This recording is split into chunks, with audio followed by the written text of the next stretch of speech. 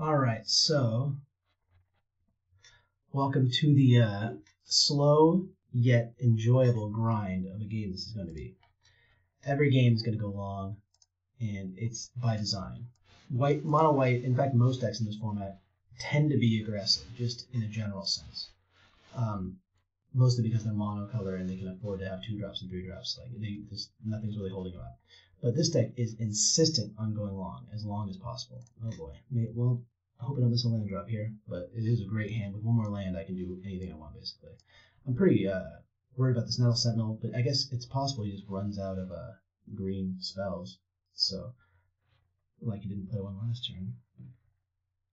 Spriggan would be a tough card to see right now. 4-4 trample on turn 3 is the kind of aggression in this format that's really common.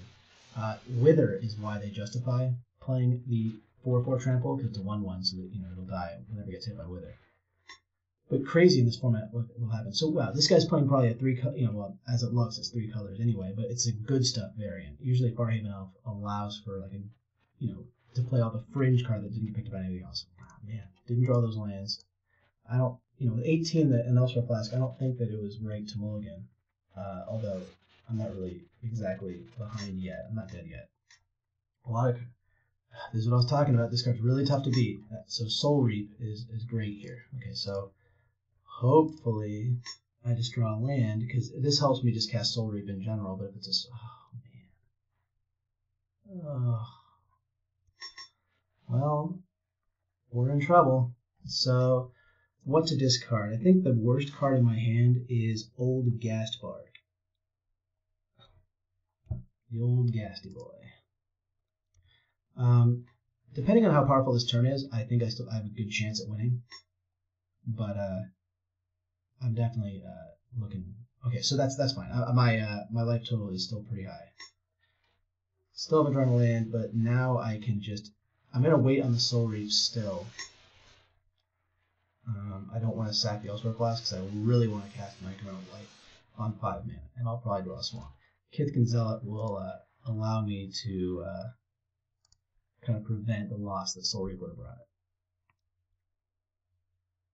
And if I draw land, I can just bliss the Sootwalker instead.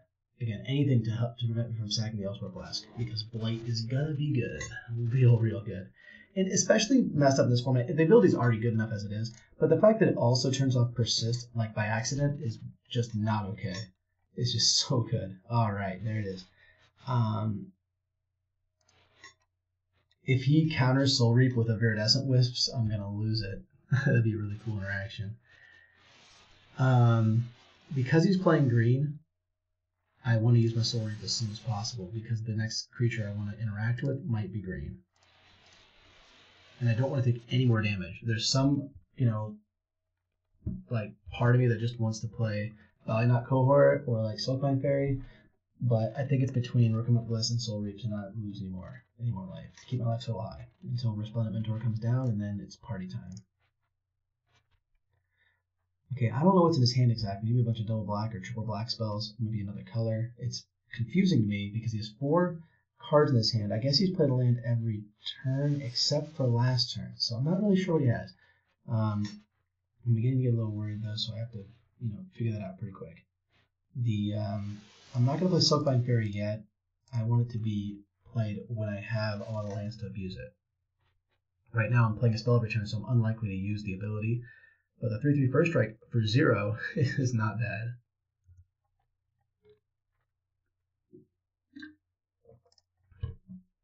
Looks like we're drawing out. Um, I'm not really feeling like this was a typical game. Uh, I, you know, I was stuck on two. He doesn't seem to be playing anything of relevance. This card would have been good with some backup, but I'm just confused. What does he have? What's going on over there? So by attacking here, Rustrazor gets in. He'd have to block with quite a bit, and honestly, anything that he blocks with is a plot. You know, it's, it's good value for me. And I do want to get the clock going in case he's got something like uh, Elsewhere Flask Corrupt or Elsewhere Flask Jaws of Stone. Those are the kinds of things I would lose to later. Uh, it's also possible that there's a card like Worm Harvest that would help, you know, destabilize and make him have a lot of tokens. I just want to make sure that I can race when the time comes to race. even though life isn't likely to matter because I'm going to win like in a, in a kind of a fell swoop. Doesn't hurt to get the free damage in when I can. I have I can't F6 just in case he has like smash the smithereens. I have to sack it in response, otherwise I take three. Kind of annoying. This is really impressive. Normally, uh, this is just a, strange circumstance. Still keeping their Recumbent Bliss. I just don't know when I'm going to be able to use it or when it's going to be good. Uh, but now I can't attack with anything. The two force kind of locking it up. There's some part of me that wants to just bliss and attack with the cohort, but there's no reason to like potentially lose to a really big creature or a really awesome creature. Okay. Discard a card, do damage to target player equal to the casting cost. It's a it's a random card, so you missed on that. That's nice. But what's the most I could have taken there? Maybe eight. It's kind of scary. All right, I'm a, he's playing creatures, so I don't really like anticipate a a wrath, and I think the only wrath in the format is Hallowed Burial anyway. Maybe there's also Firespout, which I guess Firespout would, would literally kill everything I can play. Uh, Ren Clawtrap would live, but everything else would die. Um, so that's kind of worrisome. I think I'm just gonna play Kithkin Rabble and try to get in there. Kithkin Rabble will die if he fire spouts. Of course, his whole board will die too if he fire spouts, so I'm not all that worried. Uh, let me get in there for one with the Silkbind first. Just in case he's got some like give a guy flying. I don't think there is one of those, but it's just like kind of good practice. I don't want to play the Trapper just yet. I don't want to lose it to his removal spell if he's got one, and if he does have that fire spell, which I'm worried about, it, I would rather have the Belly Trapper alive than dead. Okay, so put X creatures in the battlefield where X is this creature's how okay, so basically every turn you can get five one ones. No matter what. Uh, he could have done on on my end step and then on his turn to have ten tokens. That's a big game. Uh, I don't really feel that worried about this attack. I'm kind of like confused. I'm definitely going to take down the Wither guy with first strike. I'll the Nettle Sentinel just block with the one three. I don't really care about that much and the rest I'll just block. Um, the Kithkin Rabble taking down this. I actually suppose that I could kill the Wither guy. Alright, I'll do this instead. This will take down the Nettle Sentinel, and the Zealot will take down the Scuzzback Marauder, and that it'll live to block these 1 1s later. Then I'll, I'll still have two 2 toughness creatures over here, and I'll take 3 total. Not a bad trade.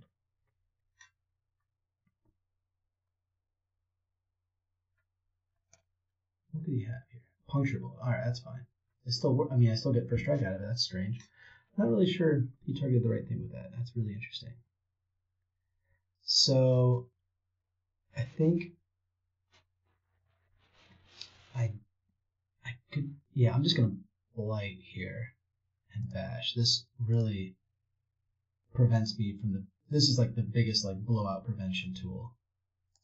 Just in case he. Uh, finds a way to like pump this up. So let's see, one, two, three. I'm gonna make sure to do this right. So one, two, three.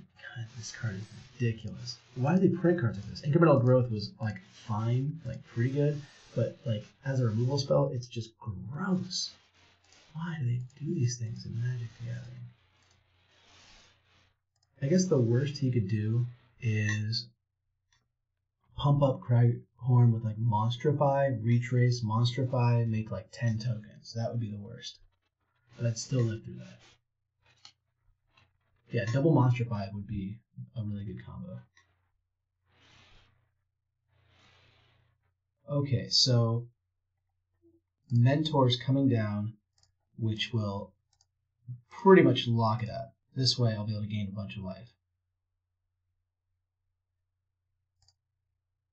These things can block, but I kind of want to make sure that I block. Uh, if I attack with this, it kind of um, eliminates Runes of the Deuce as an out, and I don't want to attack with anything else because I want to gain all the life I can.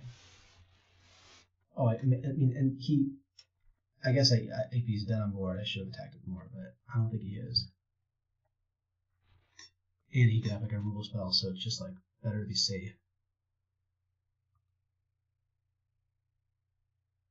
Like I, yeah, I feel like I'm, I'm gonna win the long game anyway, so I'd rather just make sure I don't lose to he him having a spell and then untapping. And Monstrify actually would kill me, so that's funny. Funny, I should I should watch out for that. Not anymore, but if I attack thing. Manamorphose. Funny, usually it's just a cycler and kind of a fixer, but like being able to accidentally pump this plus plus one, just so much value for Manamorphose. And it works on like a lot of these duos. Duo for each color. Alright. He's giving up. So, um I wish I would I wish I knew it was in his hand or what he was like planning. It might, it might just be a really bad draw on his part. I'm not gonna rub it in any further, but it's just kind of like a, confusing. Uh, Strip Bear, he's shown one card, and it's likely that he has another one, but I don't think it's really wise to board it in until I really see more. Inquisitor Snare is a must, especially against this uh, Sootwalker that I saw. Um, old Ghastbark uh, doesn't block the Sootwalker, and I don't really think it's particularly useful against anything else he has. So I'm gonna I'm gonna board it. It's it's definitely a good card, but I don't. I think on the draw I can afford not to have it. Flickerwisp actually might be weak because it's kind of an aggressive card and it doesn't really block very well against him. So maybe that's the cut. But Flickerwisp is just such good value on uh, a card like Kithkin Gonzalez against him. Really good value on Elsewhere Flask, just draw a card for free. Really good value on like a, on fourth turn, like untap my own land, pass with two up. So I'm gonna keep it. But I can't. I don't know if it's right. I'm gonna keep Beseech the Queen in the board. Again, not my, not not ready either. But I will see you for game two.